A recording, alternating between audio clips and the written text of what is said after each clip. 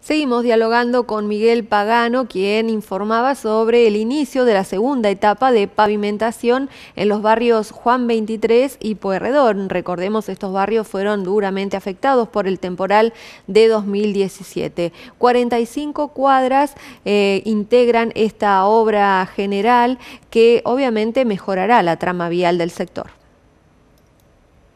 Eh, anteriormente había retomado lo que es la primera etapa, se había retomado de, esa obra que estaba semi paralizada de Juan 23, ahora se, inició, eh, aprobado el acto financiero por parte de Nación, nosotros eh, iniciamos la obra de la segunda etapa, que ya era, una, era un proyecto que ya habíamos presentado a Nación este, de unas 45 cuadras, estamos hablando de casi 43 mil metros cuadrados de pavimento rígido, de 15 centímetros de espesor, con un, con un gran porcentaje de recambio de cañería de, también de agua, de cloacas, eh, dada la vejez. Y bueno, e, esa zona fue altamente impactada por lo que por el eh, efecto climático del año 2017 y bueno, ahí se está trabajando también fuertemente, ustedes lo, lo pudieron apreciar.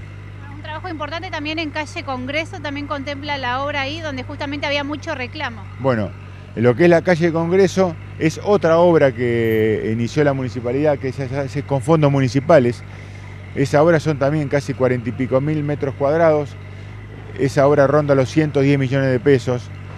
Eh, esa es todo lo que es la calle, o sea, la calle Congreso entre Lisandro y Kennedy, ambas manos, y una sola mano de la calle Chile, porque recordemos que ahí van los pluviales, es la obra hídrica que, bueno, que nosotros nos encargamos de hacer lo que son los estudios de impacto ambiental, que estamos entregando a la municipalidad, ya entregamos la parte sur, ahora estamos entregando la parte, eh, perdón, entregamos la parte norte, estamos entregando la parte sur para que pueda Nación sí tener vía libre para poder licitar junto con provincia.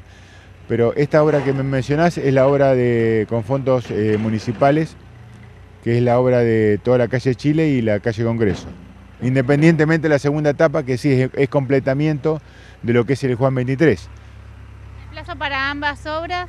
Cada obra tiene un plazo de seis meses. Eh, bueno, las empresas tendrán que adaptar su equipo de trabajo para ese plazo de obra.